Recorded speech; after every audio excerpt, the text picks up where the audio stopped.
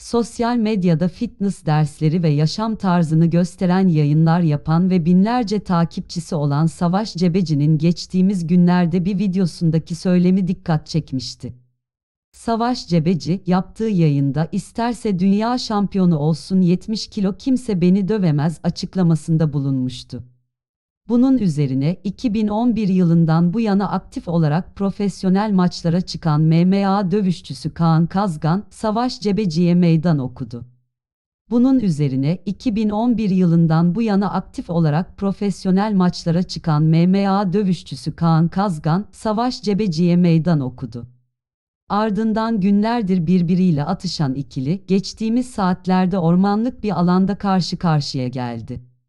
Kavganın ardından bir video yayınlayan Kaan Kazgan, yumruklarındaki kanı göstererek "Şov bitti, video yakında" açıklamasında bulundu. 1. Kavgayı gören ve öncesindeki iddialı meydan okumayı bilenler bir iki şey söylemeden edemedi tabii.